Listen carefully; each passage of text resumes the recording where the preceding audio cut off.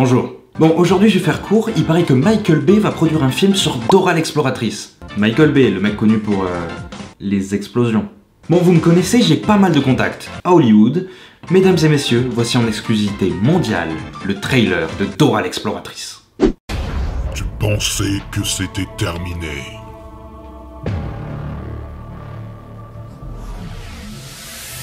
Tu pensais pouvoir y échapper.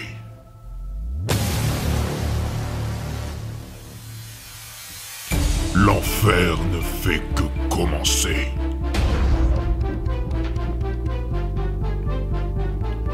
On va faire un film. Peut-être même une trilogie.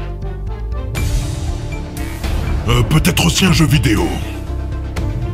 On va mettre des explosions. Un max d'explosions. On va faire des trucs bien. Genre un singe en 3D. Avec un prénom de chaussure. Oula, oula, faut que je me calme. Il y aura aussi des passages en anglais. Une meuf qui parle sans arrêt à la caméra.